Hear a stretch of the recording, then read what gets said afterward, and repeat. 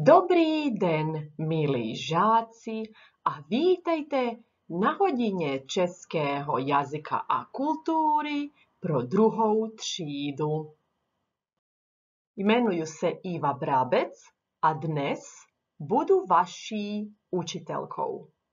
Dnes probereme téma ve třídě a naučíme se, co všechno můžeme najít ve třídě a také se naučíme, kdo pracuje ve škole. Na dnešní hodině žáci se naučí pojmenovat, co děláme na podzim, co si oblékáme a co se děje v přírodě. Dnes potřebujete tužku, sešit a pastelky. Toto video si teď můžete zastavit, abyste si připravili věci. Na začátku se seznamte s Janem a Karin. Tady je Jan a to je Karin. Jan a Karin nám pomůžou, abychom se naučili nové věci. Milé děti, a víte, co jsou to roční období? A které roční období znáte? Umíte je z paměti pojmenovat? Podívejte se na obrázky. Co tady máme? Hm? Ano, máme jaro, léto, podzim a zimu. Každé roční období je zvláštní a příroda se mění. Teď vám ukážu obrázky a vy můžete hádat, o kterém ročním období se budeme učit dnes. Co si myslíte? Co to bude? Ano, dnes se budeme učit o podzimu. Máte rádi podzim? Já mám. A co víte o podzimu? Co na podzim děláme? Hm? Nebo víte možná, jaké je počasí? A co si oblékáme? Hned vás naučím. Podzim začíná 23. září a končí 21. prosince. A potom začíná zima. Na podzim často prší a fouká vítr. Také nám začíná škola. Příroda na podzim je barevná a ze stromů opadává listí. Také dozrává ovoce a zelenina v sadech a my tě sklízíme.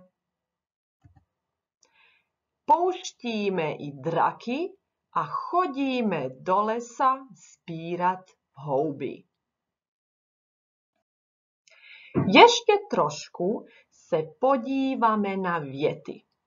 Vy poslouchejte a zopakujte, co jste slyšeli. Prší a fouká vítr. Začíná škola. Opadává listí. Dozrává ovoce a zelenina. Sbíráme houby. Oblékáme se tepleji. Výborně. A teď do sešitu napište název lekce. Podzim a opište věty. Můžete zastavit video a udělat úkol. Úkol jste udělali a věty jste obsali do sešitu. Teď si ještě jednou zopakujeme věty. Poslouchejte a opakujte. Prší a fouká vítr. Začíná škola. Opadává listí. Dozrává ovoce a zelenina. Sbíráme houby. Oblékáme se tepleji. Super. Teď se podívejte na obrázky a věty a spojte obrázek s odpovídající větou. Podívejme se trošku na věty. Prší a fouká vítr. Opadává listí. Začíná škola. Dozrává ovoce a zelenina. Oblékáme se tepleji a sbíráme houby. Ještě se trošku podívejte i na obrázky, i na věty a zkuste spojit.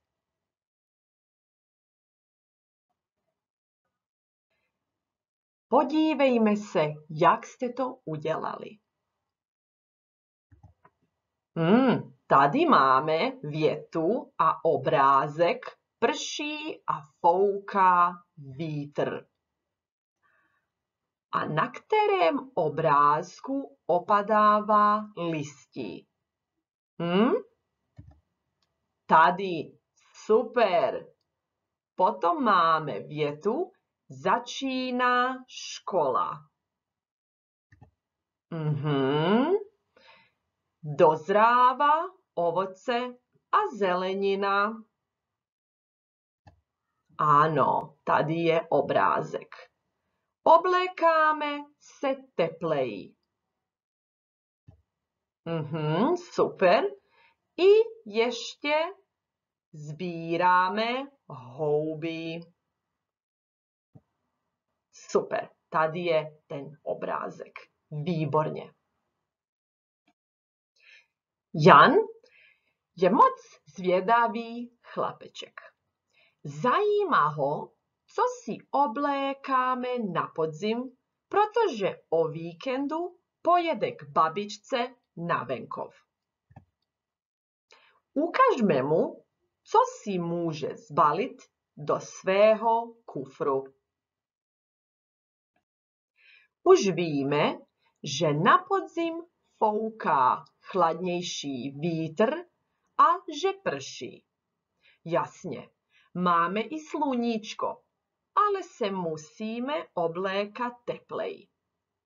Proto si, když například jdeme na procházku, oblekneme kabátek nebo bundu. Potom dlouhé kalhoty, šálu a boty. A co si ještě oblékáme na podzim?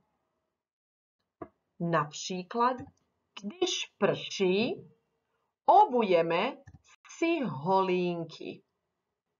Vezměme sebou i deštník. Zopakujme to Janovi ještě jednou aby si bili jistí. Kabátek, bunda. Dlouhé kalhoty. Šála. Boty.